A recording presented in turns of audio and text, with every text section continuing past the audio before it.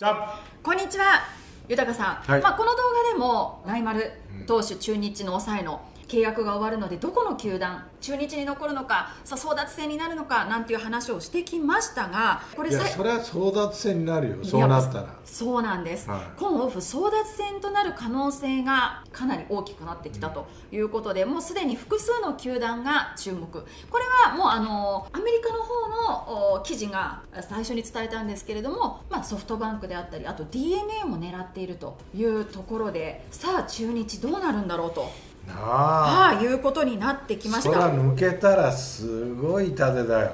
そうですよ。だってライバルいるとリードして渡した時には、ね、ほぼ100%でしょ、はいそうです。そんなピッチャーいないから。今シーズンは自己最多の60試合に登板。2勝3敗43セーブ。防御率1.092年ぶりのセーブを手にしたというやっぱすごいな数字を見るとな。それでまあ何回も見たけど打たれる気がしないよ。そうなんですよね。やっぱ球速いし角度あるしはい。フォークは落ちるし、もうアウトだな。出てくるともうそうでしたよね。今シーズンあのたまにフォアボールとか出してたまに1点とか2点まあまあそらねのはありましたそういう時もあるよ、うんまあそういう時もあるけど、まあ、ほぼ完璧に近いはい。西武投手だよな、はい。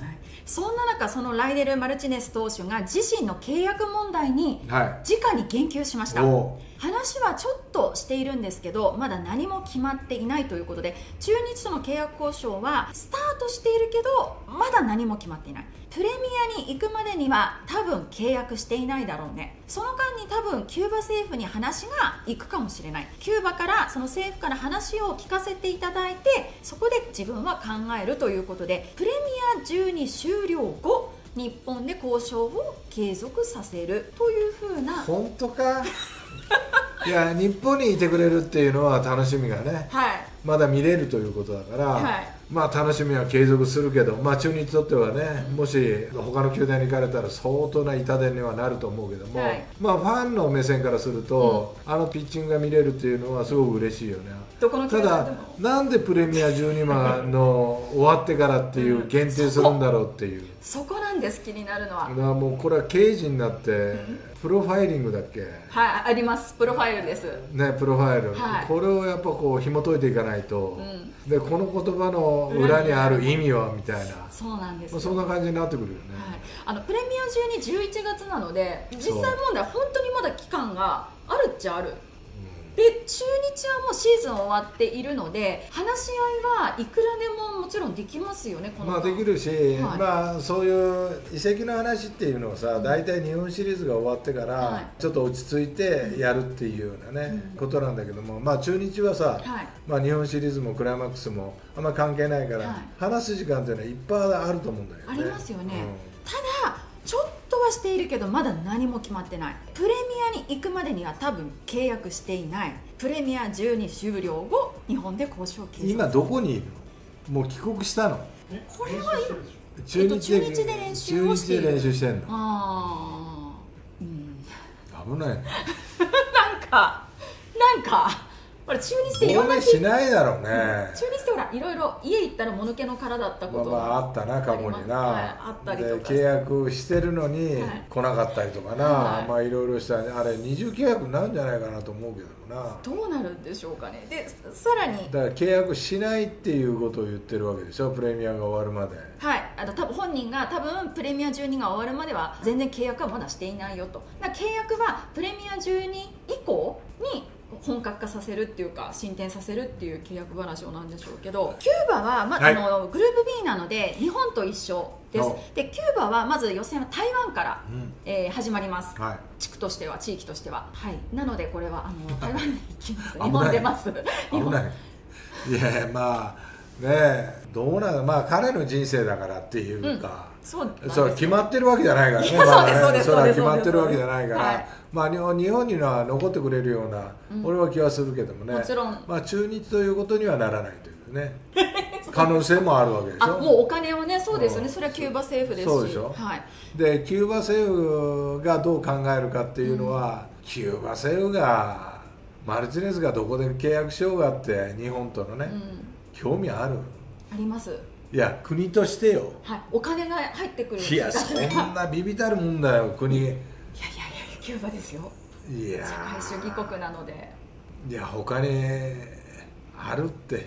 何か違うそんなお金を当てにしてるような国だったら困るね困る。よでさらにこれ、あのーマルティネス投手は付け加えているのは、ね、今言ったようにキューバ政府から中日の球団に派遣されている立場なので政府の意向が重要視されるかと問われるとキューバ政府は話はしてくれるけどやっているのは俺だし最終的に自分が納得いかなかったらキューバ政府も何もできないと思いますということで自分の意思で契約を選択することを強調したと。そうだろ、はい。いや絶対そうだよ。ということはですよ。これで中日じゃなくてソフトバンク決まりましたって言ったらライデルもソフトバンクに行きたかったってことになりますよね。でそうじゃない。お金が良かったというどうもお金なのかいやいやその国に対しての納める金額っていうのははいあるけども、はいそれは裏でもらえるかお金だってあるかもしれないそうかそれは自分が交渉するわけだからでちなみにです野球情報サイトベースボール FR 上ではマルティネスに中日残留はないと予想されていて複数球団と交渉しえすでに年俸が、えー約11億6000万円から14億5000万円を提示されていると報じた。年俸？はいそうです。年俸。それメジャー？いや十何億？はい、11億6000万から約14億5000万円。すでに年俸が。これで提示されているというふうにそれはもう報じられてます。ソフトバンクだよ。はい、はい、それはもう間違いないでしょ。でも出てます。DNA はそこまで出せるかどうかって。出せないですか？多分出せないと思う。まあただ、バウアーを取ろうとしてて、バウアー資金っていうのがまだ残ってたらバウアー資金か。それはあるかもわからないけども、はい。そんな長期契約にはならないよねでもここまで具体的な数字がこのベースボール FR 上で出てるっていうことはどっかから漏れてるはいるんですよねきっと。今永投手はポスティングなので今永投手の資金も残ってます。まだ残ってるかどうかわからない。使ってるかもわからない。かもう違うことに。もそれはわからないけども年俸11億円。から14億が提示されているっていうふうにすでに。ソフトバンクでしょうね。な。ジャイアンツかもしれないでもいいな。9回1イニングしっかり抑えられるだけで、それだけのお金がもらえるんだよ。夢ありますね。なあ、うん。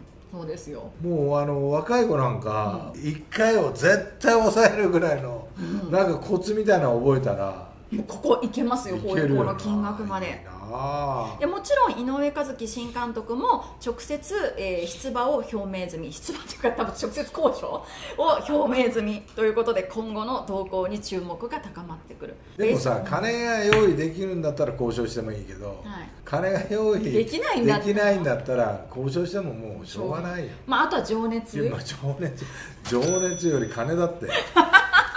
多分。多分そう思うよでもこの金額ベーだっスてさ、野球選手の寿命って決まってるわけだし、はい。ねえ、そうなってくると情熱よりまあやっぱりお金飛ぶでしょ。まあ、もちろんそれはねいいことですそれはもうしょうがないよねん。それは。うんそうですそうです、お金がないと生きていけないし。もちろんもちろん。ってなるともうやっぱりソフトバンクがやっぱこのぐらいの金額出すっていうのはソフトバンク巨人も、まあ名前は全然出出てませんけど払えると思えば払える金額なんですかまあそうだと思うよ。うん。まあだけど大勢がおるしな、はいそうですよね。だからどうなんやろな。いいたら完璧になると思うもう後ろがね8 8回回9回ってもう7回までしか攻撃ないそうですよね。これお前他に育ってみろ。お前6回しかないマジで。本当にそうだ。えそれもう一人できても5回までしかないって。2打席しかチャンスがないって。こんなんあるかお前。もうちょっと違うものになってくる。違うものになってくる。そうですよね、まあ、ただソフトバンクはやっぱりその抑えのオスナが今シーズン途中からいなくなってしまって不安定になってしまったっていうところがあるのでやっぱりあの強固な抑えが欲しいっていうのは分かりますね。それはあるよな、うん。どこだって欲しいよこれだけのピッチャーは。そうですね。あとはでももうマネーゲームになってくるとなかなか太刀打ちできるチームがなくなってくるのかなっていう,、そうです。ねあとはプレミア12より前は契約しないっていうのがちょっと若干引っかかったかな。かかるな、っていう感じ。まあ、動向から目が離せんな。話せない。ちょっとなんかこうやってすれ違いざまに隠しカメラかなんかポッとつけたいよね。